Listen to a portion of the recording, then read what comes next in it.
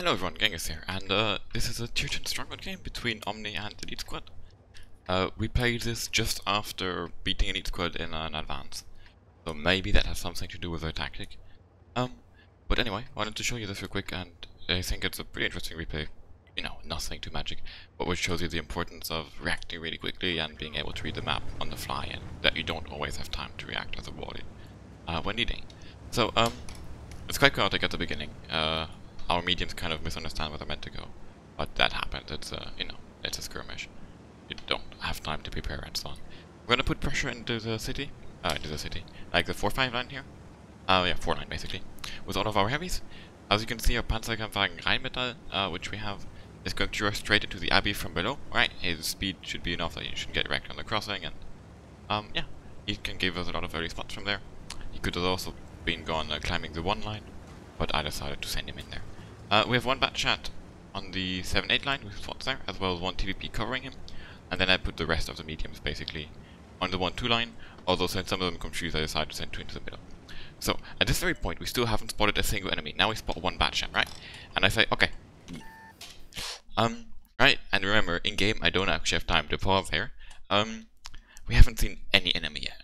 We have a bat chat here, we have a Rheinmetall done aggressive spots here, and some guys here. So, and know that they're either hard camping here, hard camping here, or maybe pushing here. They cannot be pushing here because if they were pushing here, they would have already been spotted. Or maybe they're doing something different, really weird that I don't think about, but for me that's the thing that come to my mind. So what do I decide to do? Instantly put pressure here with four 113s, um, to see if they are on the 1-2 line, we will be below them, and if they try and counter push or whatnot, I have support, right, I have to, have two 113s in the city who can support, as well as two 97s and so on. Well, if they... Okay, they're pushing there. If they would have been on the 7-8 line, we could have turned around and gotten the hold down here, right? And played towards that with, again, the support from these guys, and these guys uh, taking the high ground. So, with the enemy spotted there, I need to make calls really, really quickly. I tell my mediums to run away. I tell one of the teams to push up over here on the 1-2 line, and get to... Um, I tell them to get to this rock, and to stay back here. Although they... I mean, we end up all over this place. Um, and I send the 297s from the middle, as well as the bat chat, to instantly go capping. Because it seemed like the enemies all went on the 1-2 line. Without spotting anything, without leaving anyone back really, well except for 35 who turned around.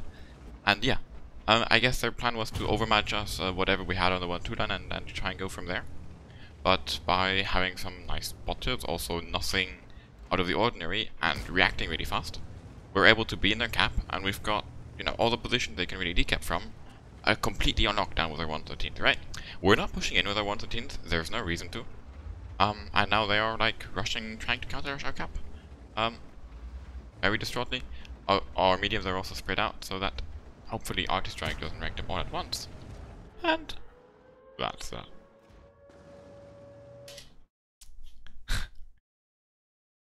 A, don't play like this uh, if you're a wallet, like the enemy team, and B, I hope you learned something. Um, thanks for watching, I see you around.